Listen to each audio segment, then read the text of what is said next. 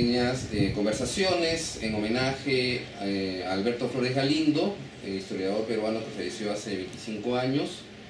nos encontramos ahora con Eduardo Cáceres, quien bueno, es filósofo y también ha sido amigo y colega de Alberto Flores Galindo y que además tiene una particularidad. Ellos se conocieron siendo muy jóvenes, eso ya nos contará Eduardo, y de otra manera, eh, a partir de ese momento en adelante han tenido momentos de encuentro y de discusión sobre algunos de estos eh, temas que también se están expresadas en los libros eh, de Tito. Entonces vamos a hacer esta siguiente conversación con Eduardo, que además actualmente trabaja para la Asociación por los Derechos Humanos del Perú y eh, también ha realizado diversas consultorías sobre eh, temas de eh, protesta social y movimientos sociales en América Latina. Bienvenido Eduardo a esta reunión con nuestros amigos. ¿Qué tal Ricardo? Un gusto estar aquí para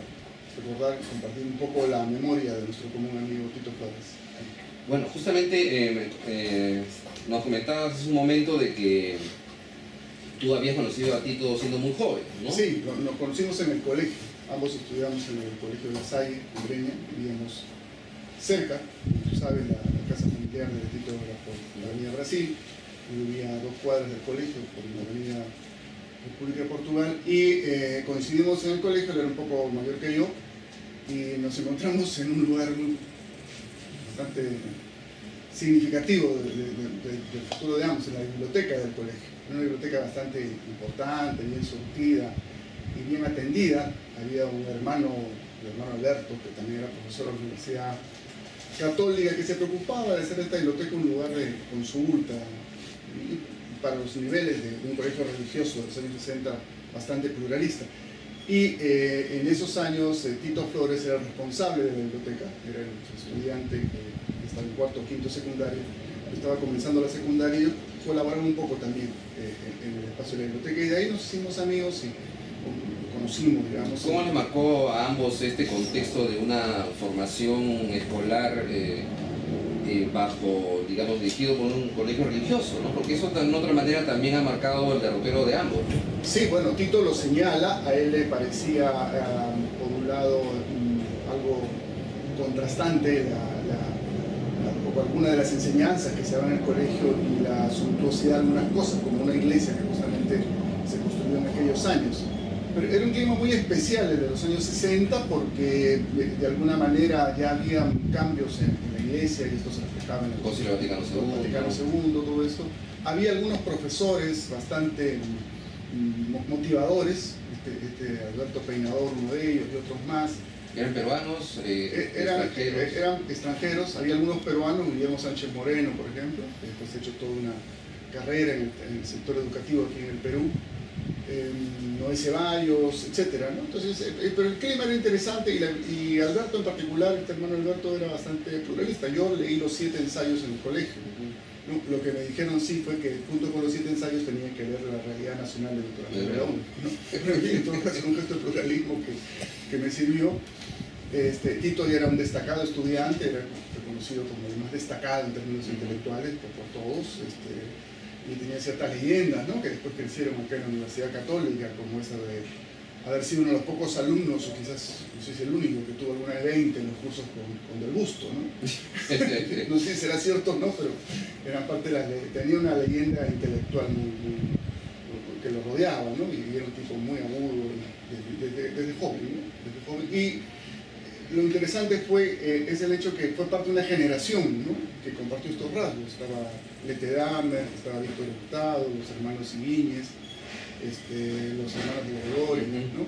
Entonces, eh, en, los años 60 salieron del colegio este, una serie de, adolescentes en ese momento, jóvenes después, que creo que aportaron al país, aportaron al país y algo tuvo que ver probablemente el tipo de, educación que recibieron. Después del, bueno, de la formación escolar, eh, todos ellos, Tito, tú, eh, Carlos Iván, Manuel Damer, de otra manera siguieron derroteros similares, no iguales, pero similares que vinculaban lo intelectual con la política. Así es, efectivamente. Título, claro, obviamente fue mucho más académico, pero tú en esos años te orientaste más hacia la militancia política. Todos eh, teníamos el horizonte de un compromiso político, unos más, eh, más, más, definido en términos orgánicos, otros menos definidos en términos orgánicos, pero la política, la política de izquierda, la política revolucionaria era ciertamente un eje central en, el, horizonte de toda esta, de toda esta generación. ¿no? Este, ya cada uno hacía su propia química del asunto, digamos. Eh, hubo quienes nos dedicamos un poco más a la militancia organizada, otros se dedicaron un poco más al trabajo intelectual, pero siempre, siempre, en, todos era común, buscábamos aportar a lo mismo, ¿no? a la causa de la transformación del país. En ese sentido, entonces, lo de Tito es, un claro ejemplo de eso. O sea, fue una generación donde particularmente había un puente entre la, digamos, las ciencias sociales, la historia y la política. Muy fuerte, ¿no? Muy fuerte, muy fuerte. Sí, o sea, em, ¿cómo decirlo? O sea, y eso, más allá de, las discontinuidades que pudo haber en nuestro siglo XX, creo que es, buena, es una buena muestra de la huella de Mariate, ¿no? Creo que nuestra izquierda, hasta, hasta esos años por lo menos, y un poco después probablemente, eh, era fuertemente intelectual en el buen sentido del término, o sea, leíamos mucho, y todos leíamos mucho, no era un tema de los de la católica o los de los de allá, o de un partido u otro. y esta imagen que siempre se plantea de manera genérica de que era una izquierda que discutía sobre el carácter de la sociedad, como que estaba muy, muy por arriba, muy teóricos, mm. completamente, digamos, alejados de la práctica. ¿Cómo lo ves tú esto? Bueno, había debates un poco abstractos, un poco escolásticos, que, que, no dejaban de tener sentido de importancia. Esto que tú mencionas, por ejemplo, el famoso debate sobre el carácter de la sociedad, primero que generó eh, producción intelectual muy, muy importante, el caso de la famosa tesis doctoral de, de, Rodrigo Montoya, acerca del carácter predominantemente capitalista de la sociedad peruana actual, que fue, cuya sustentación se transformó en una especie de jornada escolástica, como en la Edad Media, ¿no? de, debate entre las facciones, al final fue aprobada por un jurado. Así es, no, no un jurado que lo presidían lumbreras, ah, que, que, estaban ahí en el otro campo, en el campo de la, que firmaban el carácter semifeudal de la sociedad peruana. Entonces revela que, había pues una voluntad de producción intelectual, ¿no? el formato puede haber sido en algunos casos escolásticos, en otros no. Los trabajos de Tito, los trabajos que se hicieron este, en relación con el movimiento social, el movimiento obrero, el movimiento campesino, este, los estudios monográficos que se comenzaron a hacer sobre algunas regiones, ¿no? Eh, es un momento también en el cual la historia está muy cercana a las ciencias sociales, ¿no? E, evidentemente, evidentemente. Denis Ulmont, este, Javier, eh, Javier este, el economista.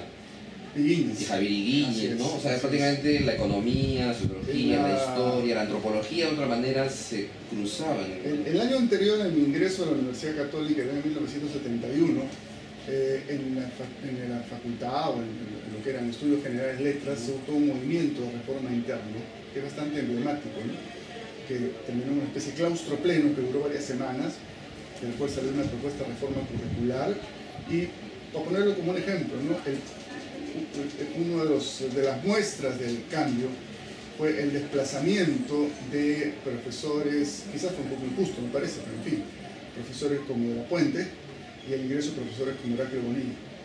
Entonces, y e, eso era poco representativo. Yo fui alumno de Heraclio Bonilla y no, ya no tuve profesores de, historia más tradicionales. Mis profesores de historia con el 372 fueron este, Heraclio, fue este, este, Franklin Peace, ¿no? En fin, tenían otra visión más estructural, no, necesariamente de izquierda, pero sí más compleja, ¿no? más estructural de la historia. En todo caso, influenciada por corrientes más contemporáneas es. los anales. Así es, efectivamente, ¿no?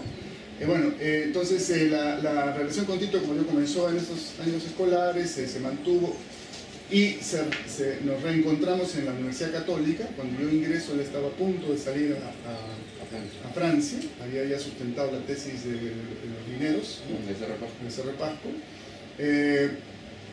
y era un punto de referencia, o sea, tuvimos, me recuerdo alguna vez, en parte de los procesos de discusión y de, de los círculos de estudio, y estas historias que había alguna vez reunión con Tito que había invitado para que se yo no me acuerdo exactamente qué tema, pero recuerdo que sí, que estuvo invitado alguna vez en el círculo de estudio del cual formaba parte.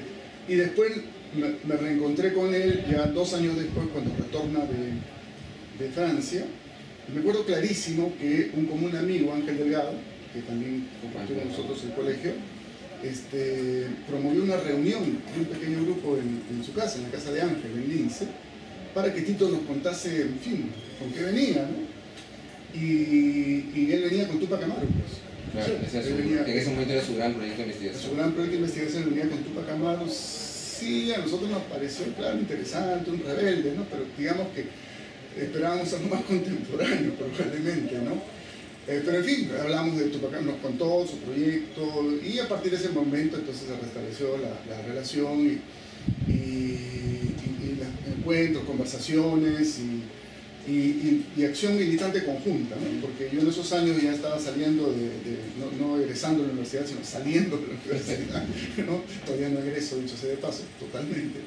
Eh, y estuve un tiempo vinculado con el movimiento de los pescadores en el Callao en el año 75, si no me equivoco, porque se había producido toda una movilización nacional que se había traído abajo a una dirigencia mafiosa vinculada al MLR y habían entrado dirigentes clasistas, como decíamos Como promovieron el Ministerio de Pesquería, ¿no? claro, era, eran este, incluso gente que había salido de la propia izquierda, que habían sido cooptados por el régimen militar, transformados pues en una fuerza de choque sindical el MLR, y este, el este MLR había tomado la dirección de la Federación de Pescadores, pero era un sector muy, muy conflictivo y convulsionado, porque había una crisis muy seria en la industria pesquera en el Perú.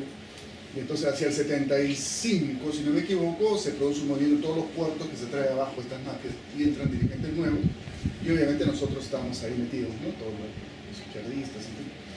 Y me acuerdo clarísimo que en el Sindicato de Pescadores del Callao, donde teníamos algunos contactos, eh, organizamos un ciclo de formación. Y, este, y ¿no? Eh, porque Tito tenía un trabajo que él no, no ha reivindicado mucho, pero es un trabajo que él hizo con Denis Sulmón sobre, sobre, sobre, la industria pesquera en Chimbote, ¿no? Que más sobre la industria pesquera que sobre los pescadores, pero en fin, algunos contactos tenía.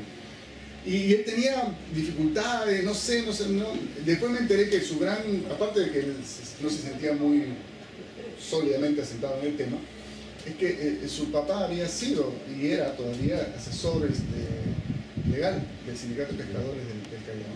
Y no, recuerdo, si se encontraron o no en, al visitar el local, ahí en el Callao, pero estuvo en la tarde ahí, ¿no?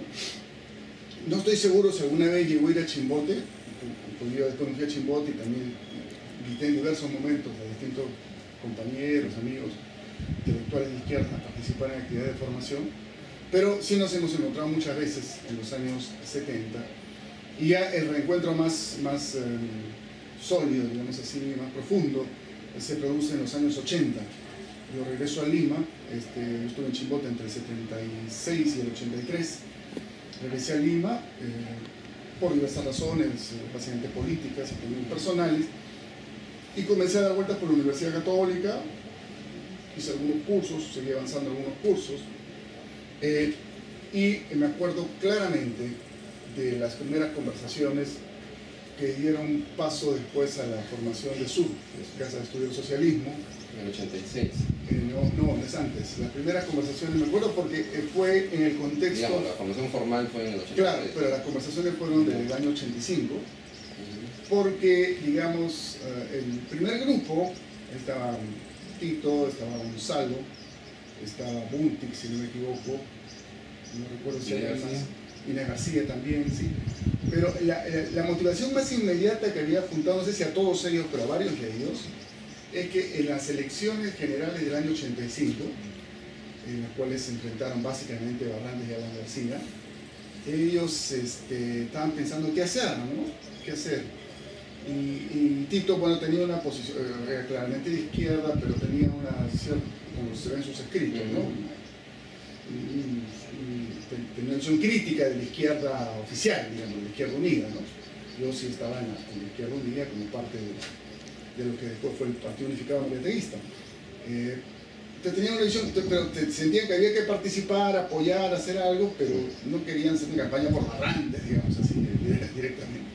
Entonces descubrieron que en la lista de candidatos a diputados por Lima, y justamente por, decisión de, del partido de, los mariateístas, digamos así, estábamos en, formación. Eh, este, no, ya estábamos constituidos como tal, en el año 85, ¿sí? Había un candidato que era un ex policía que estaba preso, un tal Pedraza. Pedraza. Claro. Entonces Tito, Gonzalo, etcétera, decidieron hacer un comité para eh, respaldar la candidatura de Pedraza. Si alguien decía que vale la pena que sea diputado, se como, esa, como esas este, que hubieron en los 60, como el caso de Malpica, eh, en los 70, como el caso de Ledesma. Así es, así es. Gente está presa, pero tiene una trayectoria, entonces hacerlo elegir diputado es una forma reivindicarlo, además sacarlo de la cárcel. Eh, hicieron el comité, la Pedraza no, no fue electo, pero tuvo una campaña simpática que después siguió y sigue por ahí seguramente actuando. Él había sido uno de los dirigentes de la huelga policial de los años 83, 84, por ahí, ¿no? Bueno.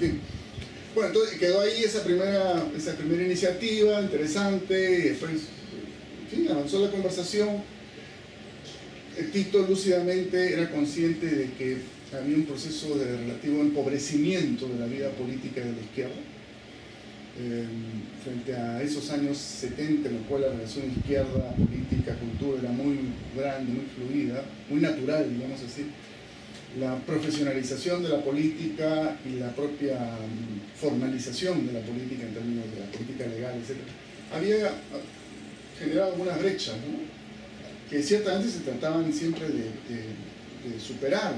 El mejor ejemplo de ese esfuerzo sistemático de buscar superar eso fue pues el caballo rojo, el extraordinario suplemento del diario. En el cual he contribuido también como periodista. Muchísimo, muchísimo, ¿no? Muchísimo, que, que, era un permanente intento de ir contra la corriente y de mantener pues una, una vinculación entre la política y la cultura, ¿no? Justamente lo que quería plantearte es uno de los grandes debates de la izquierda de los 80, o sea, los 70 fueron sobre el carácter de la sociedad, los 80 fue justamente la obra de Mariatti.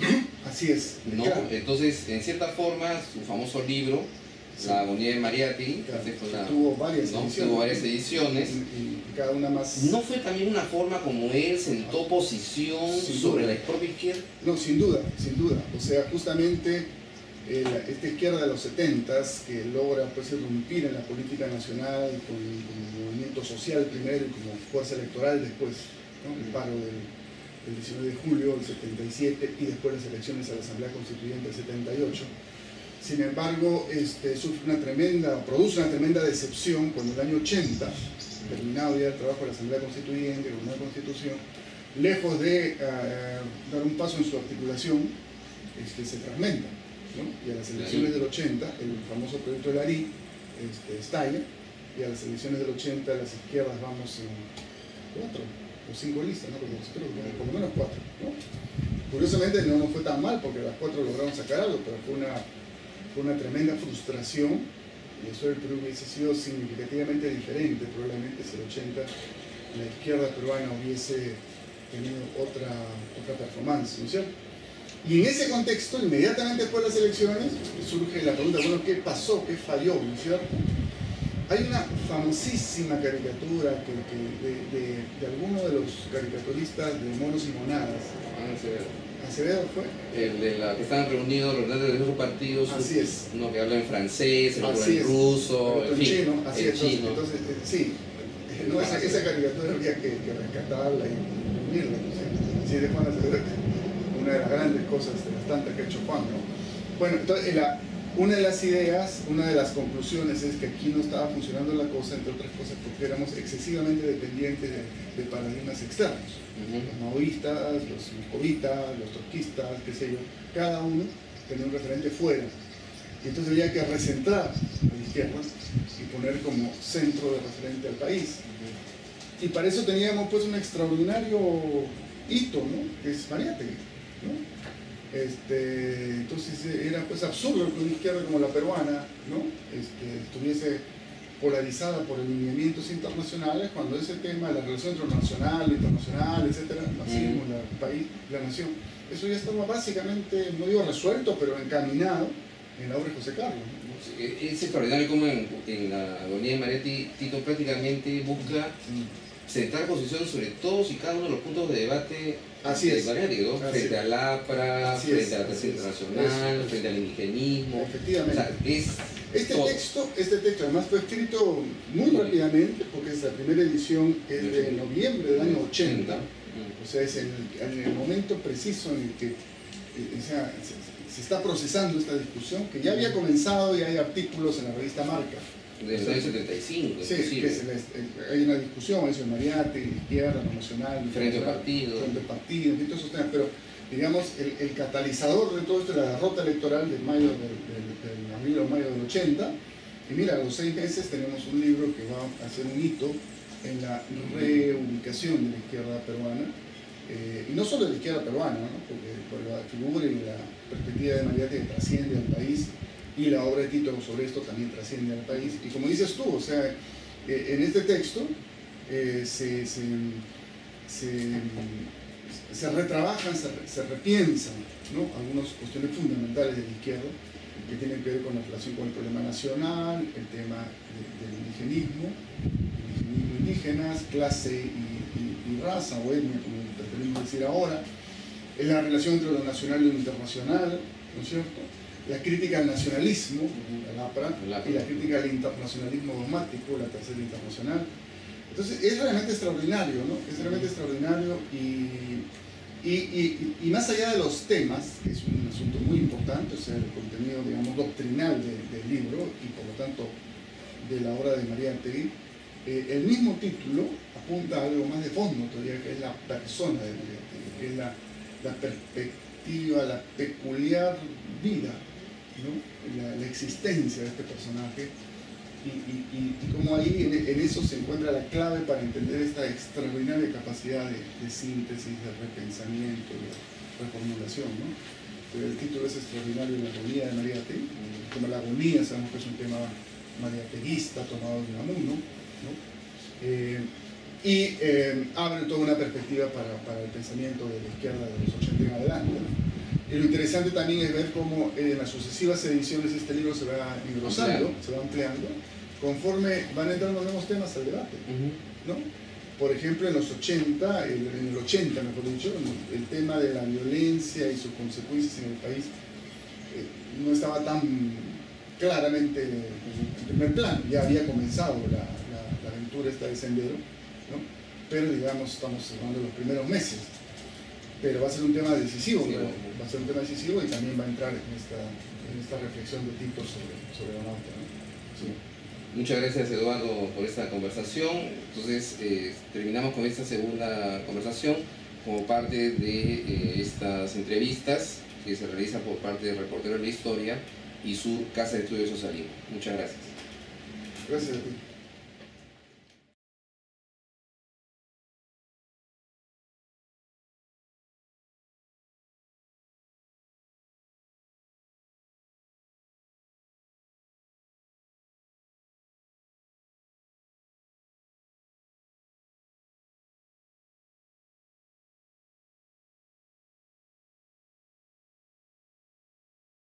Suntuosidad algunas cosas, como una iglesia que justamente se construyó en aquellos años. Pero era un clima muy especial desde los años 60 porque de, alguna manera ya había cambios en, la iglesia y esto se reflejaba en el Concilio Vaticano II, Vaticano II, todo esto.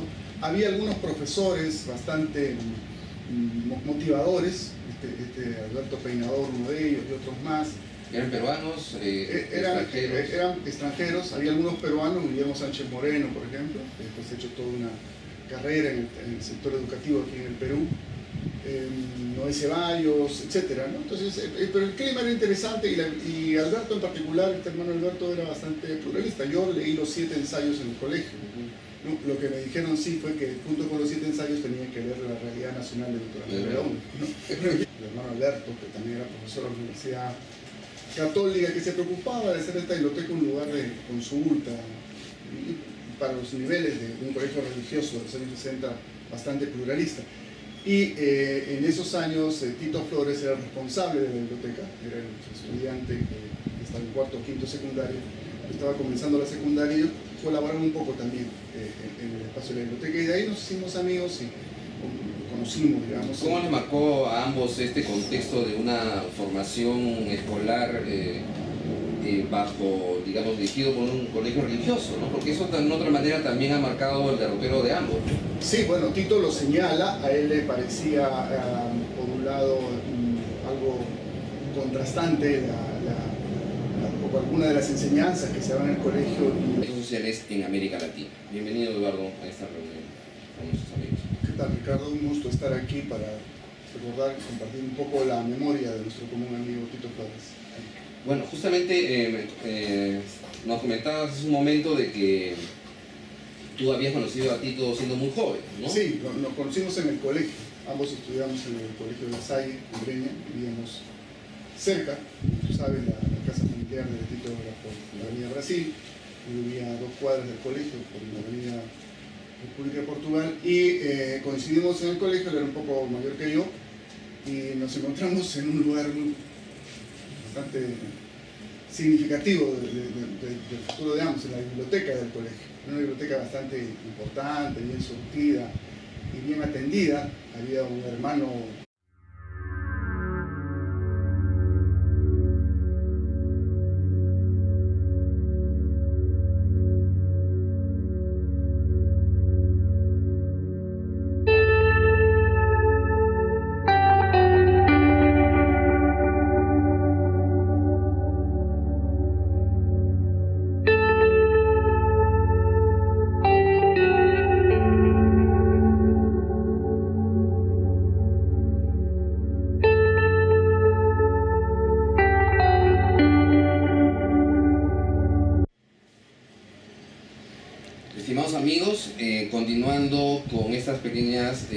eh, conversaciones en homenaje eh, a Alberto Flores Galindo, historiador peruano que falleció hace 25 años, nos encontramos ahora con Eduardo Cáceres, quien bueno, es filósofo y también ha sido amigo y colega de Alberto Flores Galindo y que además tiene una particularidad. Ellos se conocieron siendo muy jóvenes, eh, eso ya nos contará Eduardo, y de otra manera, eh, a partir de ese momento en adelante han tenido momentos de encuentro y de discusión sobre algunos de estos eh, temas que también se están expresadas en los libros de Tito. Entonces vamos a hacer esta siguiente conversación con Eduardo, que además actualmente trabaja para la Asociación por los Derechos Humanos del Perú y eh, también ha realizado diversas consultorías sobre eh, temas de eh, protesta social y movimiento